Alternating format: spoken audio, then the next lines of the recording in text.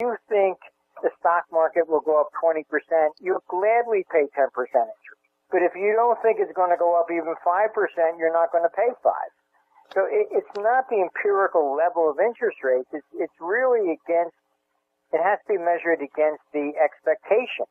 And that's really the cre- you know, the critical issue. As long as you expect things to, to rise, then the, the level of interest rates will have no impact on it. The interest rates rose really from 76 all the way up into 1981.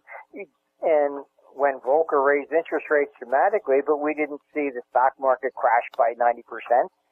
Um, so it, really has nothing to, to do with that. Um, the the Trump rally, as they're they're calling it, has another facet to it, and and what's happening is that capital is running away from government, and the the numbers you know came out for Eurostat, which showed this was the first time, 2016, when there were net sellers of government uh, debt in Europe. So um, you have also at the same time, uh, as there was almost 200 billion in liquidation of government debt, a lot of it went back up to almost, you know, 50 billion went back into equities in Europe. So people are realizing that um, you're better off because all these governments are simply broke. Uh, you have um, everyone trying to come up with some you know, scheme to, to figure out some new sort of taxation. And it, it's just, you know, all they ever do is they, they just raise taxes. We, we have people that run in governments. It, it, honestly, it would be like me trying to write a book on how does it feel to, to give birth. The problem is, and I, I've worked with governments around the world from China to the Middle East, and politicians are all the same.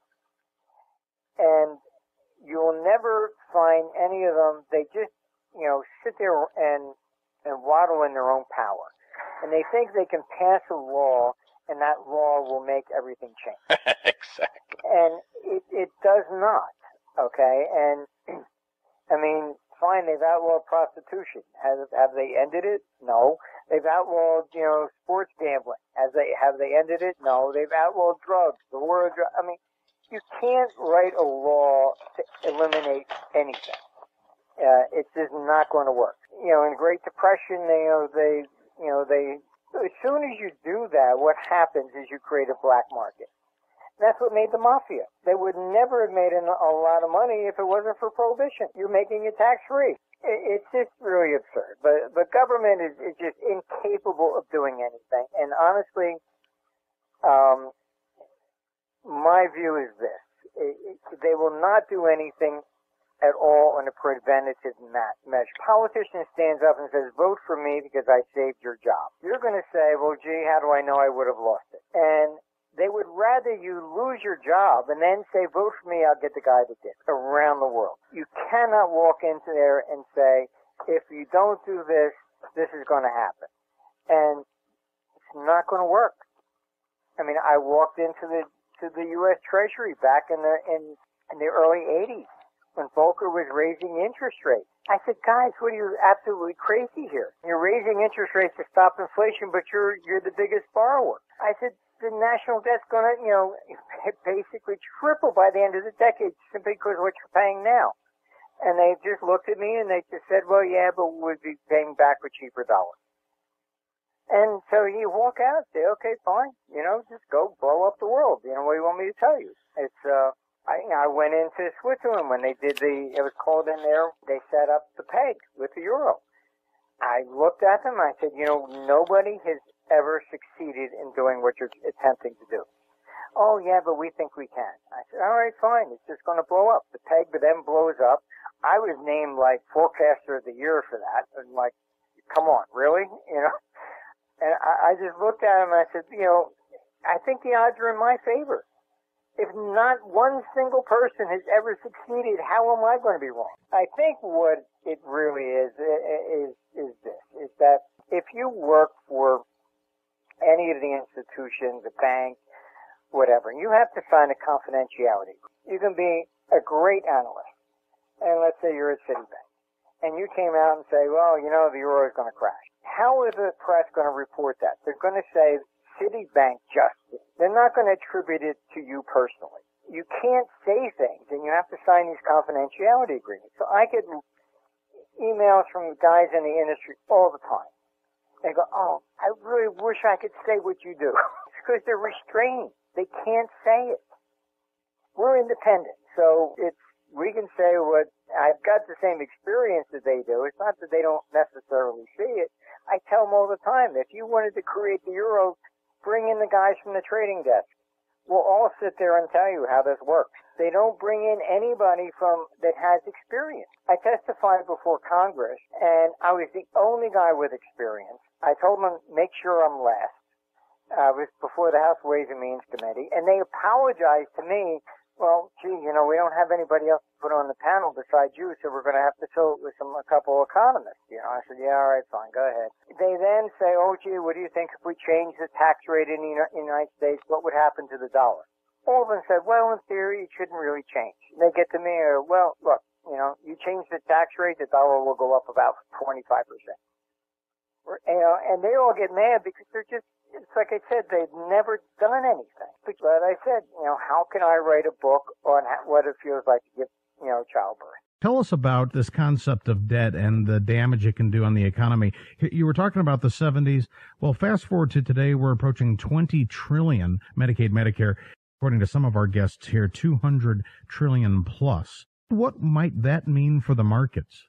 That's why the stock market's been going up. Honestly, you're probably going to see the Dow hit closer to 40 to 1,000 than you would see it, it go back to 1,000. Mainly because, you know, where smart money ends up going. And, and most of the, the analysts that talk PE ratios and stuff like this, forget it. They're clueless. You look at the PE ratio, what is the historical high? It's about 120. And when did it take place? At the 2009 low. Why? Because if you're worried about the banks you're going to fail, you don't know what governments are going to survive. Do you, where do you put your money? Okay? You put it in equities. They all bought blue chips, and at that point, you're parking money. I don't care about, you know, what revenues they're going to make. I don't care about, you know, if they're going to get 6% dividends. All I want to know is, am I going to get my money back? When you get to those critical points, it's not about investing. It's about parking. That's where we're at. this is why whatever you see in the Dow, charted in, in different currencies, charted in euro and other, and you'll see that the more the other, the dollar goes up, they make more money than we do. This is why the Japan bubble took place. Okay? The Japanese yen was going up, and the Nikkei. So a foreigner made an extra 20%. So you, it's always the wild card coming in from the outside that does this. So it's not the, you know, the domestic side. I mean, it's, um, it's you know, domestically people, you know, keep calling for the crash, etc. Why? Oh, because it's at record highs in PE ratios. You know, all we've heard since 2009 is this is the top, this is the peak, watch out below, buy bear funds now. From every pundit, especially in the blogosphere, they have been perpetually wrong, but this thing has got more legs than we thought. Why are we going to fight the bull market? No, it's, it's very simple. I mean, I think Barron's actually did a, a piece on me. I think it was back in 2011, and I think it was more tongue in cheek because we said, look, the stock market's going to continue to make new highs. So they put an article that said, yeah, Armstrong saying the stock market's going to make new highs.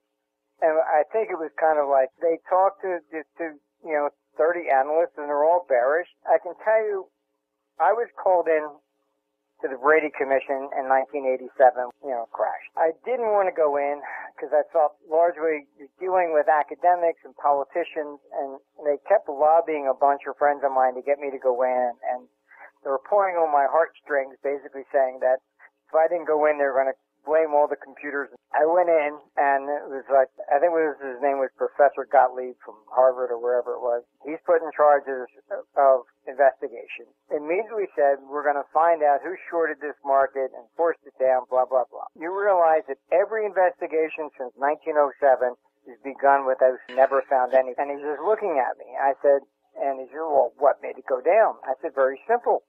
I said, you know, the view is, again, someone who had no experience. And he says, okay, fine. I said, your theory of this, this huge short. I said, how is it going to happen? Futures, every trade has got to be matched. In equities, if I'm going to short the equity, I'm borrowing the equity from this guy, so he's still long. Now I sell it and I just created another long. So how is somebody going to outnumber the longs? And he's just looking at me and he's, what makes it go down? I said, very simple everybody's long. Something scares them. They turn around, they try to sell, and nobody's willing to buy to catch a, a falling knife. There's no bid. Now you get the flash crash, and he's just looking at me. I said, "That's why you'll never find a huge short position." I said, "And you never outlaw them because it's the short guys You've got it. They provide the liquidity when everybody else is selling and is tossed in the towel. That's why the stock market keeps going up you have so many people bear it. What happens is they keep trying to sell every little high and they stopped out. Exactly. Remember he said the what was it? The most expensive trade in any market is that high. Trying to catch that high and trying to catch the low. It bankrupts more people. And they have been calling the top in this market for at least five straight years. The trend is up. They're just fighting the, the natural momentum. I would say the primary difference between us and them is that we're international. I mean, I've got offices in Abu Dhabi to Beijing. We have to deal with people around the world. And the difference is that everybody acts just like Adam Smith out of their own self-interest. So if the dollar is going up, they're making money if the stock market still prints the same price today as it did yesterday. They made money on the currency. Um, so a lot of people don't necessarily understand currency and, in a lot of this stuff. You know, it's a great segue, uh, Martin Armstrong, into question for you with regard to just how much of this um, U.S. equities phenomenon is tied directly to capital fleeing from the EU, from the Eurozone, as well as China and related Asian nations. We've got a lot of political instability. We have negative interest rates like we've never seen right now, the People's Bank of China Most of it for example, Trump is wrong in blaming China. Oh, they're currency manipulators to get trade. China was going after, you know, Bitcoin because the bulk of, of money flowing through Bitcoin is from China. And they were using it as a means to get it out of China. Exactly, because they're putting capital constraints right now on almost all the top uh, money managers in China, and they're fleeing. It's absolutely different. I mean, you take the A lot of people were saying, "Oh, gold's going to go up because it's hyper." You know, the, the, the Fed is, is monetizing. Take a look at the real numbers. They go, "Oh, the Fed, you know, created, you know, like you know, three trillion dollars." All right, fine. But the Fed is then going to start buying in the bonds. The bankers then say, well, where are we going to put our money? So the Fed then creates excess reserve. It ends up being almost like, you know, $3 trillion now. Okay, so why wasn't this not inflationary? Okay, I'm buying the bonds here's the cash for the bonds. Okay, fine. I'm going to give it back to you and put it in the excess reserve, and you pay me a half percent interest. Oh, okay. How did this stimulate anything? It didn't go into the pockets of the consumer. Then, to make it even more complicated, you then have Europe over there trying to, you know, the ECB going negative. I can tell you, they're my clients. All the European banks they opened up U.S. branches. They then ship the money to their U.S. branch. The U.S. branch parks it at the Fed. Negative interest rates over there by the ECB. So you have, you know, Draghi over there with negative interest rates, desperately trying to, to stimulate the economy since 2008. Okay, eight years and it has not worked. Don't you think at some point you're going to think maybe I, just, you know, I should try something different? These people are, are drunk with their own power. They think that they can simply write a law and make everything happen, and it does not work. You know, the greenback had a remarkable rally for about a year and a half, basically going sideways. Will the gold bulls be vindicated? Will the dollar eventually roll over and continue in its downtrend?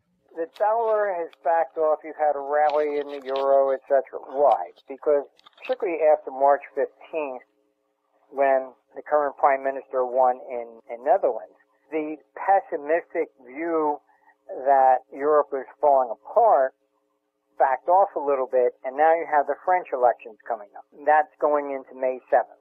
Now these things are important because, you know, if Le Pen wins in France, then you're going to be back to, oh my, that's it, the euro's finished, sell. Okay? And you're going to see another wave coming back into the dollar. So it, it's not always domestic issues. The, the gold bulls, they're, they're preaching the wrong story for, for so long. It, it, they, they confuse themselves. Gold does not go up with inflation. It does not go up with increase in money supply. If you take the 1980 high, in gold of 875. Adjusted for inflation, it's about $2,300. We didn't even exceed that. What makes gold go up? Really a hedge against government. When it went up into 1980 because there was a complete lack of confidence in Carter. Alright, that's when gold goes up. Gold rises during any period of a crisis in confidence. Gold has been rising, okay, with the three rate increases, all right, it has risen with the dollar. Why? Because basically it's it's a hedge. You have to look at it from everybody's viewpoint around around the globe. Yeah, but what about what just happened in India? I mean, you saw a gold spike when uh, Maduro, you know, uh, pulled the two uh, currencies out of circulation, decided to go digital. It was actually into over three thousand temporarily on gold. Isn't that an indication that maybe the system is broken, the currency system? I mean, the whole system is is has you know, a shelf life. It's not necessarily that uh, the currency is is evil or something like that.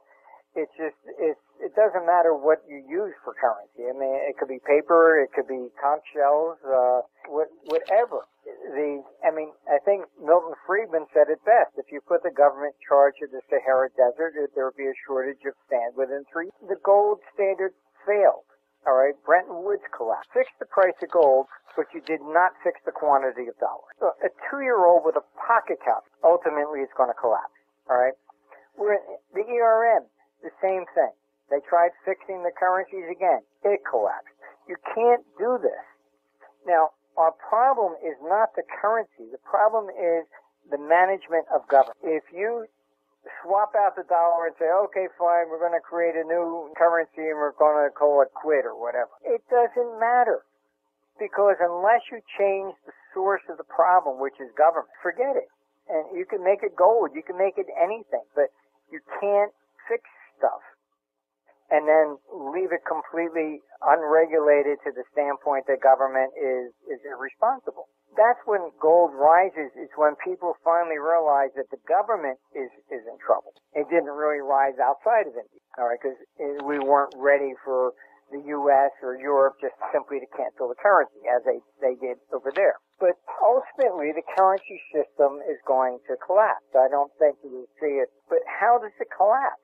It doesn't collapse with the dollar going down. It can only collapse with the dollar going up. The dollar goes down, as these people keep saying, then what's going to happen? Trump's going to win. Trade will be fantastic. U.S. will be selling everything out overseas, be very competitive, and corporate profits are going to rise. What will make it crack? What makes it crack is the dollar going up. Now you have all these emerging markets that have seven trillion dollars in foreign debt denominated in dollars. The dollar keeps going up. Of course, rates have to go up with it. We have what uh, 1.5 quadrillion dollars in notional unsecured interest rate sensitive derivatives around the world. They start to blow up. The whole thing goes belly up. What did the Fed do between 1927 to 1929? They doubled the interest rate and the stock market doubled. Why? Because they were trying to stop the rally. The more they raised the interest rates, the more the dollar went up. The more the foreign capital came. the same mistake. They've raised interest rates three. They will continue to raise interest rates.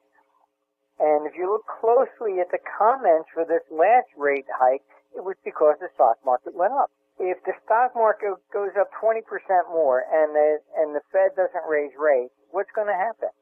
They go down the Capitol Hill. Every Democrat's going to be saying, see, you're making the rich richer and you're allowing them to make a lot of money, blah, blah, blah, blah, blah. Fed will be absolutely chewed out. It has to raise rates. Otherwise, it's not going to be seen to be trying to stop the stock market rally. Take a look at the uh, Zimbabwe disaster. I mean, you saw the stock market go absolutely ballistic with the precious metals as the currency was burned to the ground but you're not expecting that. You really do feel the greenback will be maybe the least sick patient in the ward. What happens is, first the capital has to come. This is why Roosevelt confiscated gold. Okay, first all the European countries basically went belly up on their debt. Britain went into a moratorium, but that all started in 1931. And if you want to read about it, you can go online and you can read 1931 Herbert Hoover's memoirs. You can look at that chapter. What he said is the capital acted like a loose cannon on the deck of a ship in the middle of a hurricane, shooting off in every which direction so fast, he said we couldn't form a committee quick enough to even figure out what happened. That foreign capital basically comes here. As your government is collapsing, you then move the money over here. This is how the U.S. ended up with 76% of the world gold reserves. We were bankrupt in 1896. J.P. Morgan had to lend the government 100 million in gold. How did we end up with, with 76% of the entire world reserves? It's because after World War One, World War Two, and all the 1931 sovereign debt default, everybody moved their money here. The dollar became Bretton Woods dollar became the reserve currency of the world. It came here because of that. We're enacting the same crisis. Japan's in trouble. China's got problems. Europe's got problems. Southeast Asia, they got their own debt problems. So the capital comes here. That forces the dollar up. In the Great Depression, our politicians didn't understand it. They went to protectionism. Then when FDR came in, they called him the farmer economist because he was out of the box. He's the one that said, listen, if you have to devalue the currency, the currency's too high. So he's the one that basically convinced FDR against his own brain trust. The only way out of this was to devalue the dollar. Because the dollar became so high in value internationally, the U.S. couldn't sell anything. So the same thing will happen. The dollar will go up, which is exactly against what Trump was trying to stop. As the dollar goes up, that is what will then force entire monetary reset. It was the dollar going up into 1985 when the pound went to 103. That created G5 in the Plaza Accord. It was only the dollar going up that started it. And then at the Plaza Accord is when they suggested that Europe combine and create the euro to compete with the dollar. You're not going to get the monetary reset if the dollar goes down you know, we've got a lot of gold aficionados. Can you paint a scenario that ends well for the gold bulls? Oh, sure. I mean, I mean, eventually gold goes up when people begin to realize what I'm talking about. Fine, you have a lot of gold bulls that are talking all the time. Oh, oh it's fiat, whatever. That doesn't get past them. Okay? Just go to Starbucks, and stand in line and you'll see the, the bulk of the, of the young people are just paying with their cell phone. Quarter, it's really worth five dollars. What you have to do is you have to get beyond that nonsense. And what gets it beyond that point is when the confidence in government begins to fail. Then all tangible assets begin to rise. Okay? And uh, it won't be just gold. Uh, you take the German hyperinflation. How did it end? They issued a new currency in 1925 and it was backed by real It really has to do with something with confidence more than anything. And gold will take off not because the stock market declines. Two of them will probably move together. And if they're moving together, what does it reflect? It's reflecting people are panicking outside the United States and bringing the money here. So stocks will be going up. Eventually you'll see, you know, gold go up because each person in each different currency will be using it as a hedge against their own government. That's what makes a bull market. Do you see a point where people just panic? They panic out of anything financial, they panic out of paper, and they search for that tangible safety? Sure. We're, we're just not at that level yet. Um, if you look at the Gallup polls, 2016, retail participation in the stock market reached record lows. Average person isn't rushing back in there. This is not like 2007.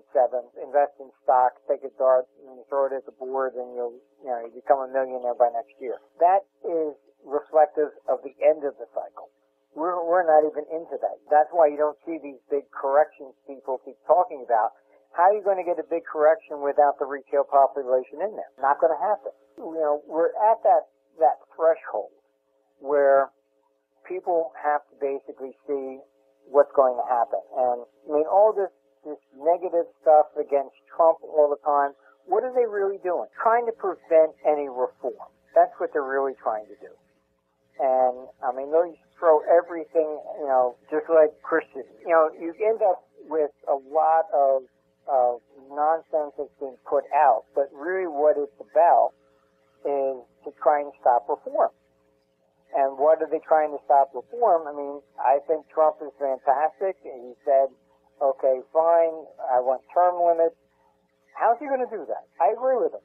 However, you know, is Congress all going to say, oh, yes, we are the problem, I vote for you, and we all have to leave within two years? No, not going to happen. Our, our problem is that we have career politicians that are there for, for 30, 40 years you know, and they're disconnected and they're long, no longer really the people. I was at a dinner years ago when it was, uh, I knew Arlen Specter, who was actually the guy that came up with the magic bullet theory on, on the JFK assassination. He was talking about Saddam Hussein back then and saying that, uh, oh, he's been there for like 35 years. I turned to Arlen and I said, well, how long you been in the Senate? I think the confidence level, if you look at it, yes, to some degree, it was what you call the Trump rally. A lot of people were had a lot more confidence that he was actually going to change things. But I think the reality as we move forward is going to find it much more difficult to try and actually change a lot of things. He might get tax reform through, but a lot of the other things is going to be very difficult. And I don't think he's going to be able to, to, to put in term limits. If you had to put a forecast on U.S. equities, uh, do you see the Dow as much as doubling or even higher from these levels and a, and a blow off top? I mean, I think the Dow has got nowhere to go but up. I mean, short term, you have to have the corrections, but honestly, the corrections have been buying opportunities, and a lot of the foreigners, if you look at it in currencies, they're the, they are the ones that come in and buying the dip.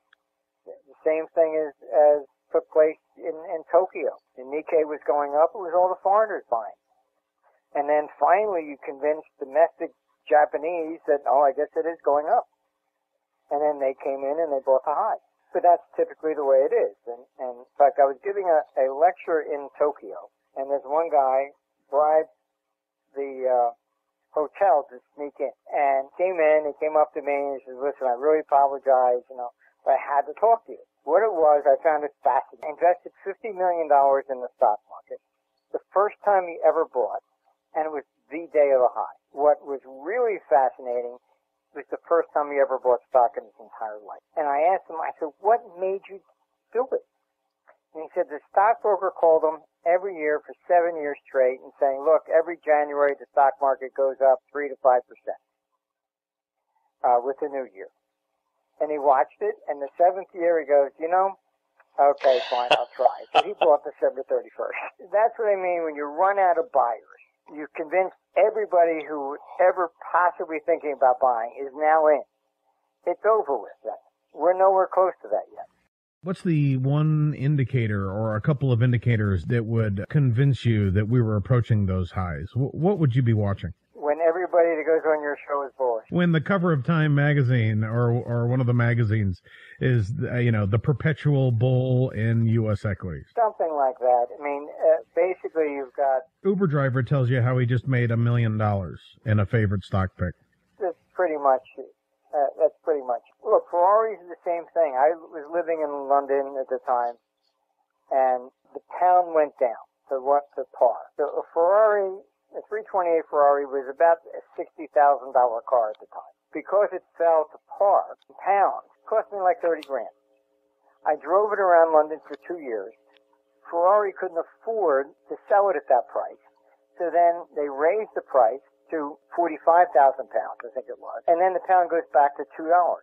I drove it around for two years and I sold it used, okay, for I think it was 80,000 many other people then thought Ferrari was a great investment, and these guys were going out buying Ferraris and stocking them in garages. I just looked at them and said, guys, I'm sorry, it's not the Ferrari. It was a currency move. That was it. So you have a lot of people, or you can probably still Google them. They have collections of Ferraris. They thought it was a great investment. It had nothing to do with the car. You know, Doug Casey told us a similar tale a few years ago here on the show. He said, you know, if you play your cards right and you watch the currencies and the markets, you can actually live in a place scot free and sell your home and then move on to the next place and live free there as well. Oh yeah. I mean, it's, it's, uh, currency changes everything, particularly when you're getting into moves of 30, 40 percent. That's a big move. You had the, you know, the the euro up at 160. Okay, so you come basically all the way down to 103. If you bought U.S. equity and you were a European in euro, you made a fortune, and the stock market didn't even have to budge. A lot of our guests find a correlation between, you know, national debt, 20 trillion, and the potential for a bull to reemerge in the precious metals. Do you see any correlation there? You have to look at this from a, a global standpoint. Yeah, 20 trillion sounds like a lot, but the global number uh, for actual government debt is, is more in the 150 trillion uh, area. We also have the biggest economy, uh, so um, and one of the lower tax rates. So it, we, you know, the, the pure level of, of, of debt in the United States is not really the issue. Uh, you have to really look at it from a global perspective, and this is why the euro has failed. Um, I met with the commission at the very beginning and how to structure this. I told them they had to consolidate all the debts of all member states and create a federal debt to compete with the dollar. Said no, they can't do that because then it would look like it was a bailout for Greece or Italy or whatever. And I said, you're going to end up doing it at the end. And they said, well, well, you know, we just want to get the currency through first, then we'll worry about the debt second. They never consolidated the debt. Why is that important? I'm an institutional trader. I got, you know, a few hundred, you know, billion dollars. I can pick up the phone and say, okay, fine, buy me 50 billion of U.S. debt. Fine, done. Okay. Can I do that in Europe? No. Yes, we have 20 trillion, but it's 20 trillion dollars that people can park it. You can't park it anywhere else. You can't go to China. You can't go to Russia. In Europe, you have to look at every individual country, and then you got different credit ratings. U.S. That 20 trillion is what makes the dollar the dollar. It's a place to park money. So I'm not concerned about the debt level so much. It's more of the incompetence of government in trying to manage things. The debt, I think, will eventually blow up, but, you know, it's more or less from everything else. It's because the government is the biggest borrower. So you can't be the biggest borrower and then use interest rates to try and affect the economy because you're affecting government more than you're affecting us. For our listeners, as we wrap up here today, who maybe have some funds to add to their portfolios, can you give them an idea of where Martin Armstrong would park some of that cash? What looks good to you in the next 12 months? Look at the stock market in three different flavors. The Dow is basically the big institutional international money. Think of it this way, when the Japanese came over here and bought real estate, what did they buy? Rockefeller Center. The Chinese, when they come over, what do they buy? The trophies. International money wants to buy the trophies. As long as the Dow is leading, it's showing you something. That's big money. Next is the S&P. S&P is the broader domestic institution. Some international goes into there, but not as much. Then you have the NASDAQ. The NASDAQ is the high rolling retail market. Each one attracts a different flavor of investor. If you're looking for security and safety, basically you look more at the blue chips. One of the big pension funds just restructured based upon what we told them to do. They got rid of all government debt and they moved to the blue chip corporate debt. And S&P went in and said, oh, gee, you're taking more and more risk. And they said, look, we ran the studies. We look at what Armstrong said, and he's right. Blue chip companies don't default. Governments do. And when they do, you get nothing. You get haircuts, whatever, because they just passed the law and can do it. If a company went bankrupt, okay, fine. You get something back on the dollar because of all the liquidations of physical assets. You don't get that with a government debt. Government debt is unsecured. Can't go down to the National Gallery and start lifting Picasso. So we keep an eye on the uh, blue chips, you know, their Dow 30. We have then an idea where the uh, foreign investment funds are flowing. If we start to see it lag, the Dow lag, and maybe even the S&P, but the Nasdaq outperform. Well, what do we take away from that? Yes, when that starts to happen, now you're getting closer to the retail type bubble you're talking. They got, oh, have to switch position. The Dow will start to actually go down first, and the other two will be rising. So you look for the differences like that. If you're looking at debt, stay short term because interest rates are going up. But right now, it's okay in the United States with T-bills, you know, I wouldn't worry about them so much. But going into after this year, you really don't want to really be in government debt so much. Certainly, just keep it to the United States. What governments do, I mean, you saw India just cancel the currency, right? What they also have done historically, let's say you bought, you know, 90-day paper. What do they do? Oh, we can't pay. We're converting it to 10-year paper. Italy did this. So you bought short-term paper, all of a sudden they converted to 10 year. And you didn't get your money back. You gotta stay away from government debt because they're just not trustworthy. You know, this is just the antithesis of what we learned in academia, isn't it? I mean, they tell us this is risk free, the risk free rate. They model it all into their big algorithms, Markov chains, and all the rest of the forecasting models and prediction, the genetic algorithms. And then boom, Armstrong comes along and says, there's risk there. There's a lot of risk there. And, you know, the Fed knows it. The Fed's concerned. I mean, I can tell you in the in the in the late 70s to early 80s, the Fed would call us first, and they would give everybody in the industry about a you know 15 to 30 minute warning. We're going to be raising rates today. Why? It wasn't insider trading. Most of the institutions were not really you know trading proprietary. What they were trying to do was to make sure that people didn't get hurt so much today. They call that, oh, that would be insider trading because you have banks trading proprietary, etc., uh, from the 90s on. So what do they do now? They try to choreograph it. Looks like we're going to be raised. They try to tell you in advance. They're trying to still do the same thing, but they're doing it public. Rates are going up. There's just no question about that. And the Fed will be forced to, to raise rates simply because of the stock. Capital comes here, they're just they're going to be browbeaten unless they do.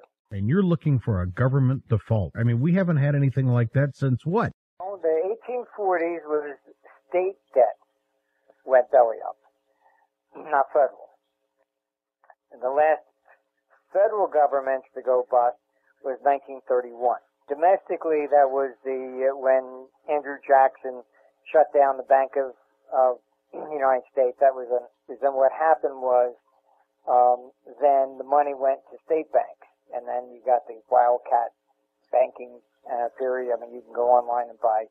Every bank issued their own currency. You had no idea if the bank was real, not real. You couldn't tell. Came to a head in the Panic of 1837 and 1840s. Uh, I mean, even the Bank of England still has, you know, uh, bonds from Pennsylvania, from um, um, I think Georgia, which were never never honored. You know, the 1930s was, was basically federal debt outside the United States. Most of Europe defaulted, South America for about the third time, and China defaulted. And you can buy those bonds on eBay. Make very nice things to, to hang up if you like. And the tipping point for our next federal uh, default, my guess is rates just get out of hand? Pretty much. You also have to pay attention to the breakup of the EU. Merkel is probably not going to win looking at uh, other countries pulling out. Uh, I think Greece probably will end up pulling out of the EU. Now you have all their back backed debt in euro that's going to have to be converted to a new currency. You know, so you're looking at at really disturbing a, a third of the world economy. We have to watch everything. Basically, have uh, direct lines, sources that we were one of the first ones to say that Russia even went into Ukraine. Right? Actually posted on our site. We had one of our people over there went up to a Russian soldier and said, "Oh, thank you so much. You're here to help us. Can I take a picture with you?" And he did. So I posted the picture. I just cut her out. Sorry, Russian soldiers are in Ukraine. We have people everywhere. What, what has happened over the years is everybody realizes that our computer system. You think the stock market will go up 20%, you'll gladly pay 10% interest. But if you don't think it's going to go up even 5%, you're not going to pay 5 so it, it's not the empirical level of interest rates. It's, it's really against, it has to be measured against the expectation. And that's really the cre- you know, the critical issue. As long as you expect things to, to rise, then the, the level of interest rates will have no impact on it. The interest rates rose really from 76 all the way up into 1981, and when Volcker raised interest rates dramatically, but we didn't see the stock market crash by 90%. Um, so it, it, really has nothing to, to do with that. Um, the, the Trump rally, as they're, they're calling it, has another facet to it. And, and what's happening is that capital is running away from government. And the the numbers, you know, came out for Eurostat, which showed this was the first time, 2016, when there were net sellers of government uh, debt in Europe. So um, you have also at the same time, uh, as there was almost 200 billion in liquidation of government debt, a lot of it went back up to almost, you know, 50 billion went back into equities in Europe. So people are realizing that um, you're better off because all these governments are simply broke. Uh, you have uh, everyone trying to come up with some you know scheme to to figure out some new sort of taxation, and it, it's just you know all they ever do is they they just raise taxes. We, we have people that are running governments it, it, honestly, it would be like me trying to write a book on how does it feel to, to give birth. The problem is, and I, I've worked with governments around the world from China to the Middle East, and politicians are all the same. And you'll never find any of them, they just, you know, sit there and, and waddle in their own power. And they think they can pass a law and that law will make everything change. exactly. And it, it does not. Okay. And I mean, fine, they've outlawed prostitution. Have, have they ended it? No. They've outlawed, you know, sports gambling. Has they, have they ended it? No. They've outlawed drugs. The war of drugs. I mean, you can't write a law to eliminate anything. Uh, it's just not going to work. You know, in Great Depression, they, you know, they, you know, they soon as you do that, what happens is you create a black market.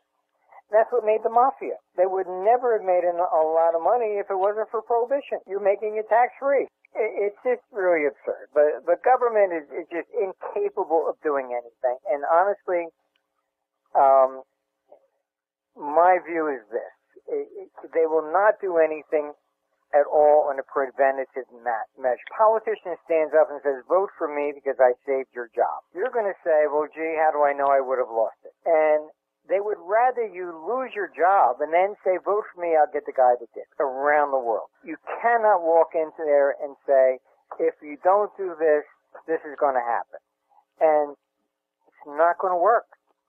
I mean, I walked into the, to the U.S. Treasury back in the, in, in the early 80s when Volcker was raising interest rates. I said, guys, what are you absolutely crazy here? You're raising interest rates to stop inflation, but you're you're the biggest borrower. I said, the national debt's going to, you know, basically triple by the end of the decade simply because of what you're paying now.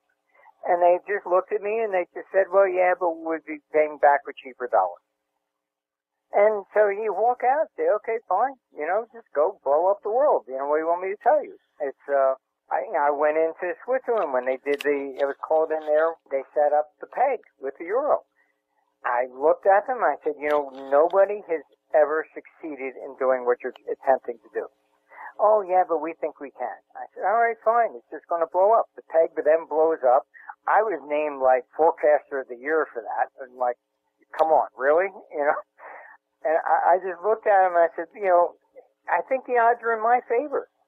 If not one single person has ever succeeded, how am I going to be wrong? I think what it really is, is, is this, is that if you work for any of the institutions, a bank, whatever, you have to sign a confidentiality. You can be a great analyst, and let's say you're at Citibank, and you came out and say, well, you know, the euro is going to crash. How is the press going to report that? They're going to say Citibank justice. They're not going to attribute it to you personally. You can't say things, and you have to sign these confidentiality agreements. So I get emails from guys in the industry all the time. They go, oh, I really wish I could say what you do. because they're restrained. They can't say it. We're independent, so it's we can say what I've got the same experience that they do. It's not that they don't necessarily see it. I tell them all the time, if you wanted to create the euro, bring in the guys from the trading desk. We'll all sit there and tell you how this works. They don't bring in anybody from that has experience. I testified before Congress and I was the only guy with experience. I told them make sure I'm last. I was before the House Ways and Means Committee, and they apologized to me well, gee, you know, we don't have anybody else to put on the panel besides you, so we're going to have to fill it with some a couple of economists. You know, I said, yeah, all right, fine, go ahead. They then say, oh, gee, what do you think if we change the tax rate in the United States? What would happen to the dollar? All of them said, well, in theory, it shouldn't really change. They get to me, well, look, you know, you change the tax rate, the dollar will go up about 25%. You know, and they all get mad because they're just it's like I said, they've never done anything. But I said, you know, how can I write a book on what it feels like to give, you know, childbirth? Tell us about this concept of debt and the damage it can do on the economy. You were talking about the 70s. Well, fast forward to today, we're approaching 20 trillion Medicaid, Medicare.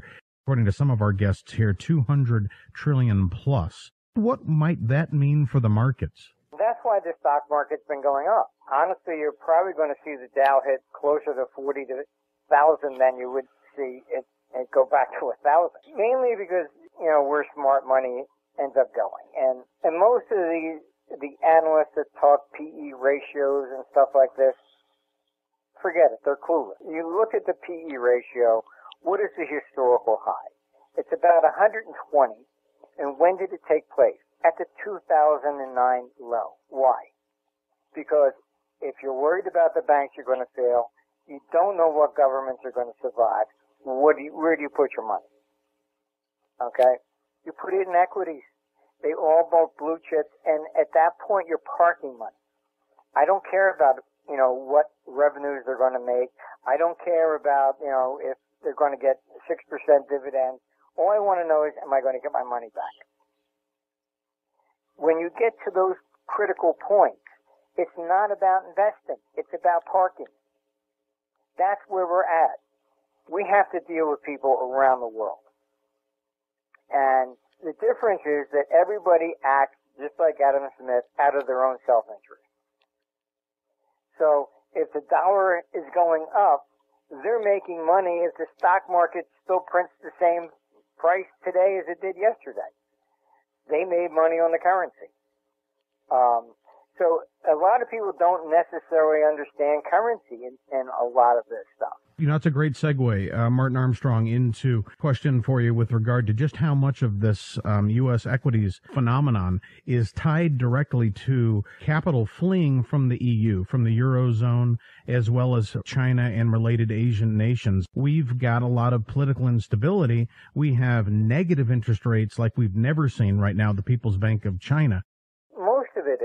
Like, for example, Trump is wrong in blaming China. Oh, they're currency manipulators to get trade. China was going after, you know, Bitcoin because the bulk of, of money flowing through Bitcoin is from China.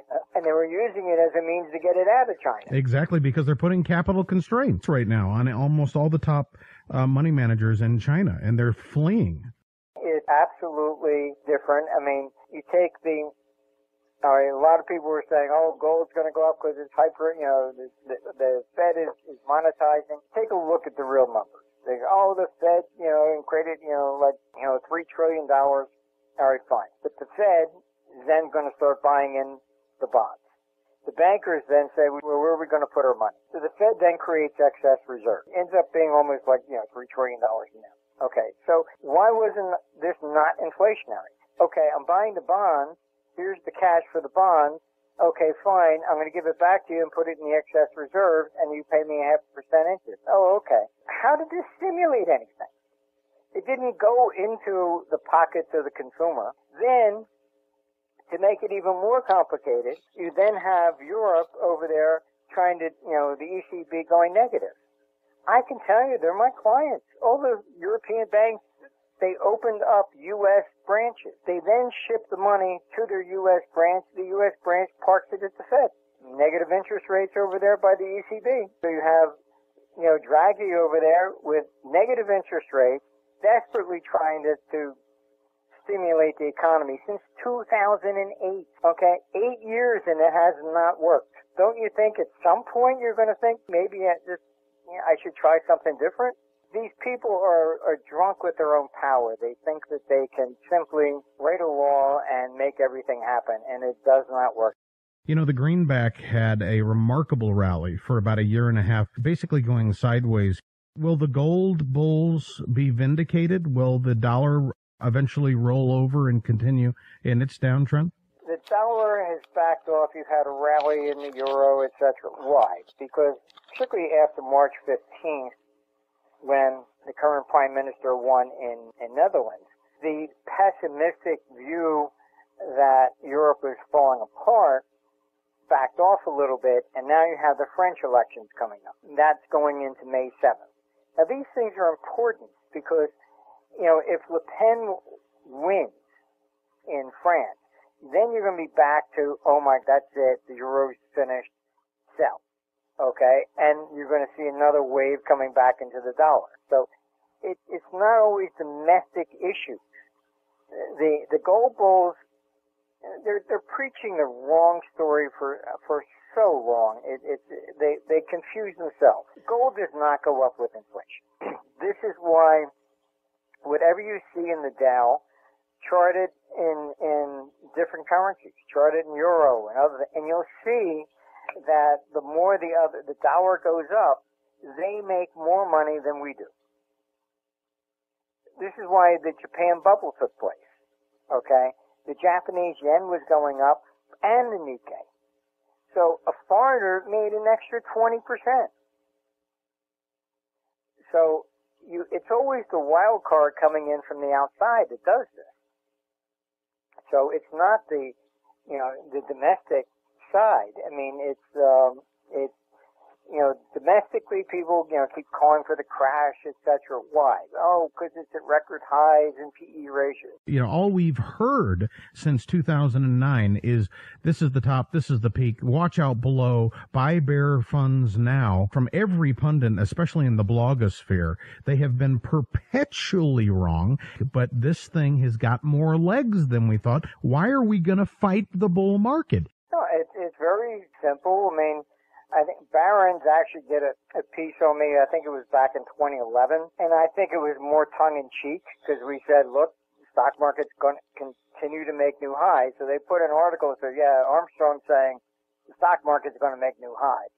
And I think it was kind of like they talked to, to, to you know 30 analysts and they're all bearish. I can tell you, I was called in to the Brady Commission in 1987, you know, crashed. I didn't want to go in because I felt largely dealing with academics and politicians, and they kept lobbying a bunch of friends of mine to get me to go in, and they were pulling on my heartstrings, basically saying that if I didn't go in, they were going to blame all the computers. I went in, and it was like I think was his name was Professor Gottlieb from Harvard or wherever it was. He's put in charge of investigation. Immediately said we're going to find out who shorted this market and forced it down. Blah blah blah. You realize that every investigation since 1907 has begun with us never found any. And he's just looking at me. I said, and he said, well, what made it go down? I said, very simple. I said, you know, the view is again, someone who had no experience.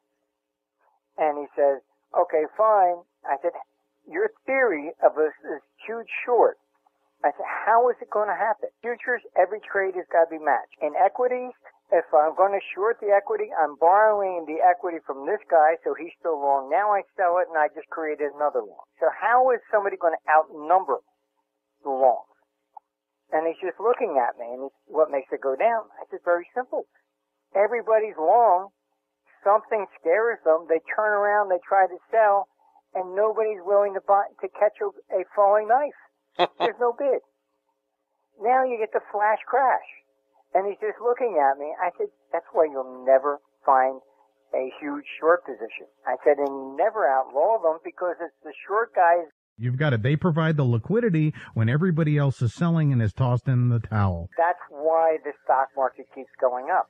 You have so many people bear it. What happens is they keep trying to sell every little high and they stopped out. Exactly. Remember, he said the what was it? The most expensive trade in any market is that high. Trying to catch that high and trying to catch the low. It bankrupts more people, and they have been calling the top in this market for at least five straight years. The trend is up. They're just fighting the the natural momentum.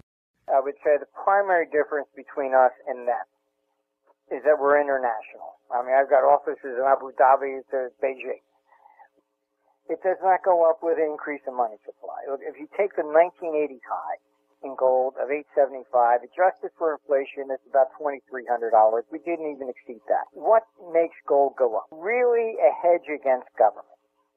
When it went up into 1980 because there was a complete lack of confidence in Carter. Alright, that's when gold goes up.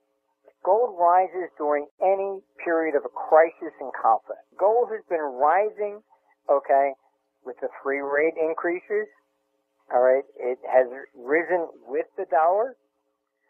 Why? Because basically it's it's a hedge. You have to look at it from everybody's viewpoint around around the globe. Yeah, but what about what just happened in India? I mean, you saw a gold spike when uh, Maduro you know, uh, pulled the two uh, currencies out of circulation, decided to go digital. It was actually into over 3,000 temporarily on gold. Isn't that an indication that maybe the system is broken, the currency system? Sure it is. I mean, the whole system is, is, has you know, a shelf life.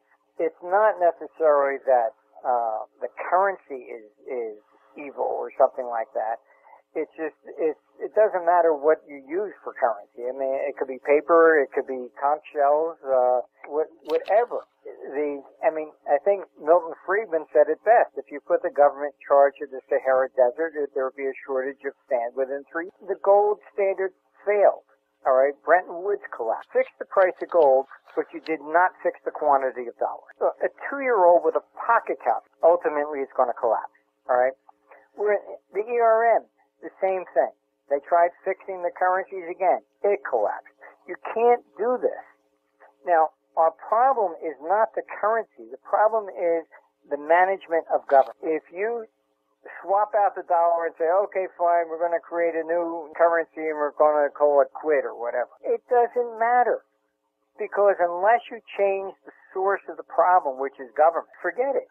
And you can make it gold, you can make it anything, but you can't fix stuff and then leave it completely unregulated to the standpoint that government is, is irresponsible. That's when gold rises is when people finally realize that the government is, is in trouble. It didn't really rise outside of India, alright, because we weren't ready for the U.S. or Europe just simply to cancel the currency as they, they did over there. But ultimately, the currency system is going to collapse. I don't think you will see it. But how does it collapse? It doesn't collapse with the dollar going down. It can only collapse with the dollar going up. The dollar goes down, as these people keep saying, then what's going to happen? Trump's going to win. Trade will be fantastic. U.S. will be selling everything out overseas, be very competitive, and corporate profits are going to rise. What will make it crack? What makes it crack is the dollar going up. Now you have all these emerging markets that have seven trillion dollars in foreign debt denominated in dollars. The dollar keeps going up. Of course, rates have to go up with it. We have what uh, 1.5 quadrillion dollars in notional unsecured, interest rate sensitive derivatives around the world. They start to blow up. The whole thing goes belly up. What did the Fed do between 1927 to 1929? They doubled the interest rate and the stock market doubled. Why? Because they were trying to stop the rally. The more they raised the interest rates, the more the dollar went up. The more the foreign capital came. the same mistake. They've raised interest rates three. They will continue.